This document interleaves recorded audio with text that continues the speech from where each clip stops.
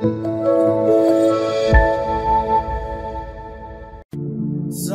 алейкум, небеса высокие, Творение великого Творца. Салам алейкум, счастьем окрыленные, Людские благородные сердца.